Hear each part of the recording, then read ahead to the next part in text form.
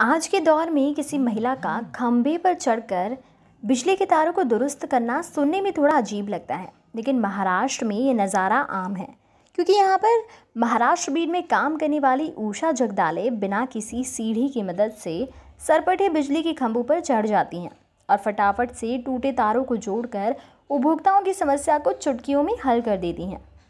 महाराष्ट्र के बीड ज़िले में आष्टई तालुका की ऊषा जगदाले महाराष्ट्र राज्य विद्युत वितरण कंपनी लिमिटेड में एक लाइन वुमन के रूप में काम करती हैं।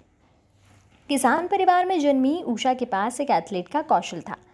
उन्होंने अपने स्कूल के दिनों में खो खो के खेल में भाग लिया और 11 स्वर्ण पदक जीते और महाराष्ट्र की राज्य स्तरीय खो खो टीम की कप्तान भी रही।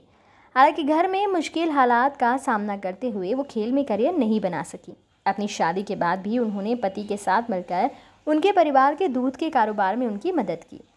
लेकिन 2013 में ऊषा की किस्मत का सिक्का चमका और स्पोर्ट कोटा के माध्यम से उन्हें एम में तकनीशियन की नौकरी मिल गई। बीड में सब डिवीज़न में पोस्ट मिलने के बाद ऊषा जगदाले को ऑफ़िस का काम सौंपा गया। लेकिन उन्होंने ऑफ़िस में बैठने के बजाय फ़ील्ड वर्क करना बेहतर समझा। उन्होंने उपभोक्ताओं का निर्बाध बिजली व्यवस्था बनाए रखने का आश्वासन दिया है। और कई बार तो वो अपने साथियों के बिना ही खंभे पर बिना किसी मदद के चढ़ जाती हैं और टूटे हुए तारों को जोड़ने की कोशिश करती हैं। उषा जगदाले का एक वीडियो सोशल मीडिया पर जमकर वायरल हो रहा है। इस वीडियो में देखा जा रहा है कि वो नंगे पैर बिजली के खंभे पर सरपट चढ़ गई हैं और तारों को जोड़ने का प्रयास कर रही हैं। अपने इस काम के ज़रिए उषा जगदाले कई महिलाओं की प्रेरणा स्रोत बनी है। लेकिन वहीं दूसरी ओर सोशल मीडिया पर यूज़र जहाँ उषा की तारीफ़ कर रहे हैं, वहीं इस बात को भी गलत बता रहे हैं कि इस तरह से बिना किसी सावधानी के और बिना किसी चीज़ की सहायता से बिजली के खंभे पर चढ़ना खतरनाक साबित हो सकता है।